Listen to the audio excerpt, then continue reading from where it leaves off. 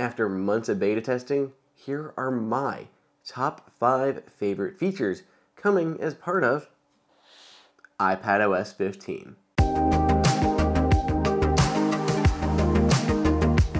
Welcome everybody to Apple Insider. It is Andrew here, and yes, Apple has finally debuted, released to everybody iPadOS 15, along with iOS 15, watchOS 8, HomePod Update 15, as well as tvOS 15. So yes, there are a lot of updates out there right now that you can go download right now, like this very second. Um, but as you do that, or maybe you've already done the updates and you want to know what's cool, new, and flashy, I'm going to show you my top five favorite features that I've been loving as part of iPadOS 15. So let's go ahead and dive into these things. And unfortunately, what I already know will be my favorite feature is something that I can't even show you in this video, and that is Universal Control. Universal Control allows you to use your iPad and your Mac in tandem and basically move your mouse and keyboard from your Mac to your iPad, from your iPad to your Mac. It is incredible, and I work on both my Mac Pro as well as my iPad Pro constantly, and they are always side by side. So to have universal control would be amazing. But unfortunately, it is not in iPadOS 15 at launch, and instead will be coming later this fall. So it will be coming soon, and it is still one of the things I'm most excited about with iPadOS 15. It's just not here in the initial build. But don't worry, there's a lot of other cool stuff that is here right now for you to play with. So let's go ahead and move on to my next favorite feature in iPadOS 15. So here I am with my iPad Pro and the release version of iPadOS 15. The next feature that I want to talk about is Quick Note. Quick Note is incredibly cool. No matter where you are in the operating system, in an app, in Safari, on your home screen, you can just make a note instantly.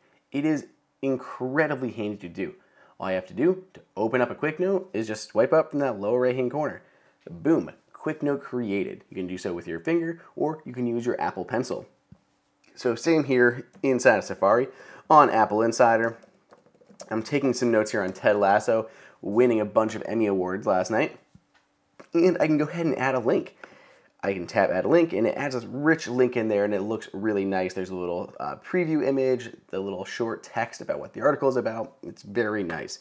Uh, if I wanted to highlight a paragraph too, I can highlight some text and hit add to quick note and it'll add that as well. It adds the link, but it also gives me that snippet of text above and it looks super nice how they lay these out. So I can add text and everything. And if I come back to this page, so if I, you know, leave, I go back here, I'm gonna close my note, and I'm to go back to Apple Insider. I'm to go open this Ted Lasso story again. And as I scroll down, in the lower right hand corner, my note surfaces again. It's contextually aware and knows back when I revisit those spots. And on page, it actually highlighted the text that I inserted into the note. So if I had some notes about things I thought was important, when I revisit that page, it'll call them out to me again. I just love it. It's amazing. Of course, Quick Notes syncs in the Notes app. There's a whole dedicated Quick Notes folder. I can see it right here at the top, and this syncs to all my devices, including my iPhone and my Mac. So, Quick Note, easily one of my favorite new features uh, coming here with iPadOS 15. The next feature that I want to talk about is just the improvements to multitasking. So, multitasking in general hasn't changed a ton but Apple has made it more approachable and easier for novice users to take advantage of. For instance, if I'm in an app, I can now see that three little dots at the top of the screen. If I tap on that, I can see full screen, the left screen, or slide over. So I can choose a split view app. Now I have access to my whole home screen that I can go ahead and pick an app from. I can swipe around and find exactly the app that I need to open in split view. It makes it a lot easier than having to use the gestures, though the gestures all still work.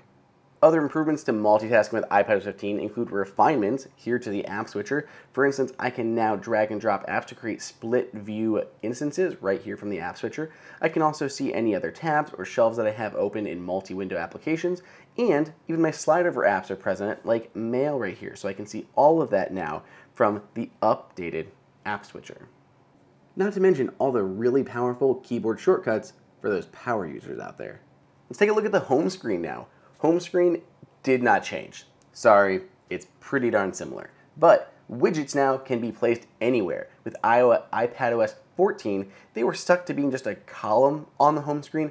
Now, like on iOS, they can be placed anywhere. There are multiple sizes, they can be in any different locations you want, and Apple even introduced new widgets here with iPadOS 14, 15, and iOS 15. So there are new widgets and the ability to place widgets anywhere on your home screens. Not only that, but Apple has finally brought the app library to iPad as well, so you can rearrange your home screens, ditch many of the home screens, and put your app library right there at the end.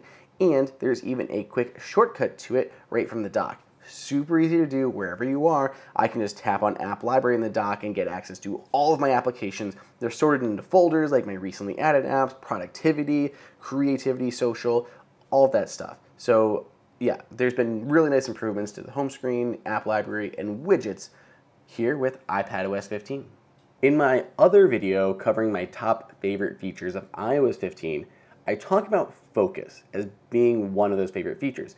And it applies here as well. Focus is one of my favorite new features coming to iPad.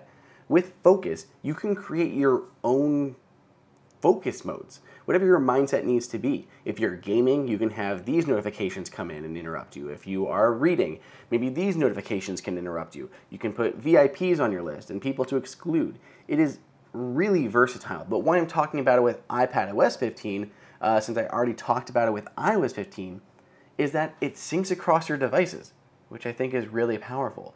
If I'm here on my iPad, if I set my focus mode to work on my iPhone so that I don't get bombarded with phone calls and text messages, I would want that to apply to my iPad as well, but I don't have to go ahead and manually do that. I can set it on my iPhone and it'll automatically take effect here on my iPad. So focus, huge new feature, and I love that it syncs between my different Apple devices that I'm signed into with my same iCloud account.